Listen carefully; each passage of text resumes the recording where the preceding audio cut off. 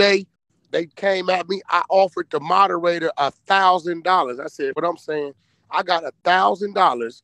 Play the tape."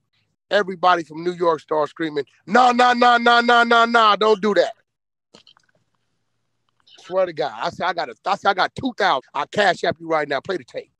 But they can play a tape of you talking about how you move when you got your people. Yeah, but you, listen, but it here go the thing though. What I told him, but look, what I told him is what I said.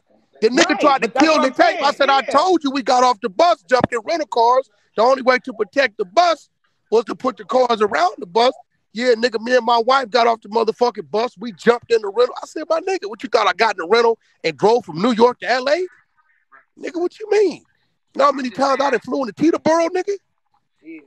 I'm just saying how they how they was they was quick to play that. They wanted to play that tape. that, yeah. Yeah, they were. But when I, I offered to pay them niggas, I said, yo, I pay you a thousand right now. Fuck what I'm talking about. Play the tape. Let the people in the crowd hear it, hear what we hear.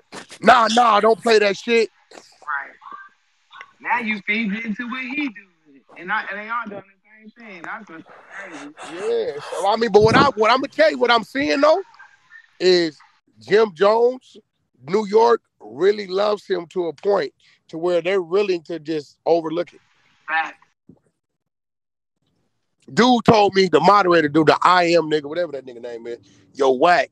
But listen, Jim too much of a real nigga. I can't see him doing that. I say Jim raps about real shit. Jim ain't never been in a substation. He ain't never did no time, hit no motherfucking yard.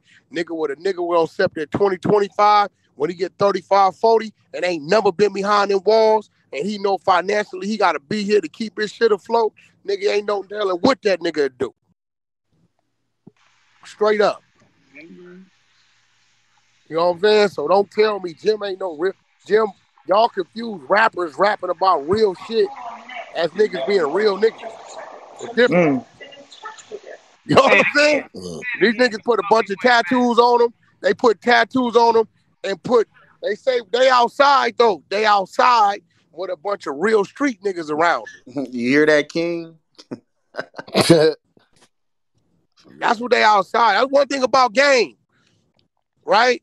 All my artists, you'll catch them moving around by themselves. Go on, play with them. They know what's happening. Them niggas be nigga where they at. They done been caught slipping and got their fair share. Get that ass tap playing, and they come right back outside. That's just what it is. Rest of them niggas, they gonna wait until 20, 30 niggas show up before they go anywhere straight up. So a lot of these niggas, you gotta understand, they ain't like that. One little nigga that I know like that day one, Lil Baby. They made Lil Baby a rapper. Lil Baby used to go to the studio to shoot dice and get the rappers money. And Pete made the nigga start rapping. Nigga, get in the booth, get in the booth, get in the booth, get in the booth. That little nigga been gutted day one. I seen that.